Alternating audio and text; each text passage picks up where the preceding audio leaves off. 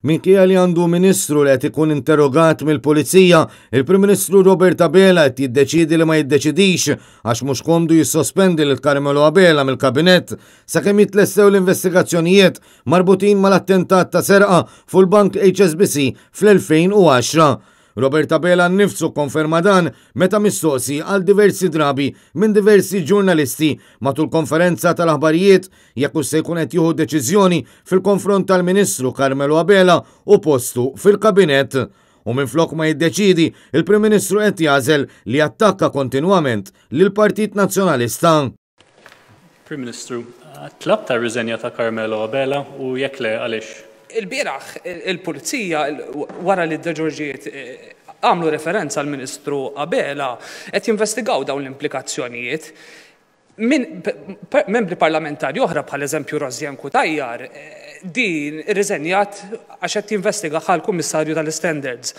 X'inhi, x'inhi, x'inhu l-kejl differenti bejn Ħaroz, Jan Cutajar u Carmelo Abela? X'inhi d-differenza? Għal xiex m'għandux iwarrab il-Ministru sakemm l-investigazzjoni tintemm? Grazzi. Hemm differenza fundamentali u nerġa' nirreferi għal dak li għadt lill-kollega tiegħek, lil Jacob. F'dan il-każ hemm strateġija u sinerġija ċara bejn il-Partit Nazzjonalista u l-kriminalità, sabiex jaġevolaw lil xulxin. Dik hija d-differenza fundamentali. Fuq liema bażi? Ħriġet proġetti bbażi li ġiet istabbilita min-naħa tal-Partit Nazzjonalista. Hemm bżonn li nagħtik spjegazzjoni? Għalfejn imma mhux ma jistax jissospendi lilu nnifsu sakemm il-ħaġa tiġi ċċarata, anke jekk jekk mhuwiex ħati, fis-sens in-nies iridu jsejrħu rashom ukoll li qed jiġu rappreżentati minn minn nies li ġenwinament qegħdin Mhumiex ħatja ta' dal-affarijiet. Il-mistoqsijiet ta' sħabi qed juru kemm qed tiddeċiedi li ma tiddeċidix, Prim Ministru, għaliex affaċċjat dawn is-sitwazzjoni inti qed tagħżel li tkun mexxej politiku, mhux mexxej tal-istat, tattakka lill-Partit Nazzjonalista minflok ma tiddeċiedi. Għandek quddiemek għażla fejn għandek Ministru sedenti issa, mhux eks Ministru Sedenti, li qed jiġi interrogat mill-Korp tal-Pulizija, u inti għandek id-dmir u d-dritt bħala Prim Ministru li tista' tissospendih sakemm inaddaf ismu. Dan il-pass qed tiddeċiedi li ma tiddeċidihx.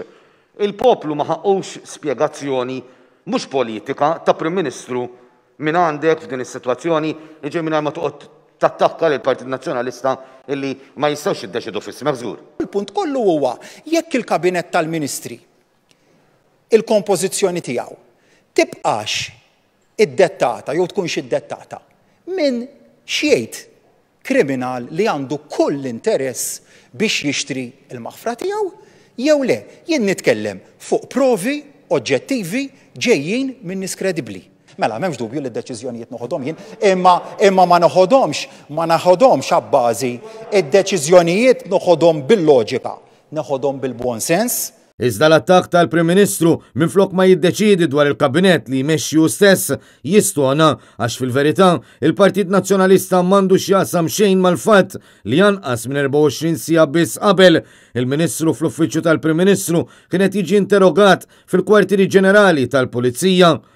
Fl-aħħar jiem kien żvelat kif il-Pulizija għaddejjin bl-investigazzjonijiet tagħhom dwar l-attentat ta' serqa fil-kwartieri ġenerali tal-Bank HSBC 11-il sena ilu fejn kienu sparati 14-il tir fil-konfront tal-Pulizija. In-nuqqas ta' deċiżjoni minn Robert Abela qed issib il-kritika ta' ħafna filwaqt li l-Kap tal-Partit Nazzjonalista Bernard Grech kiteb fuq Facebook li l-ballun jinsab f'saqajn il-Prim Ministru biex jieħu azzjoni immedjata.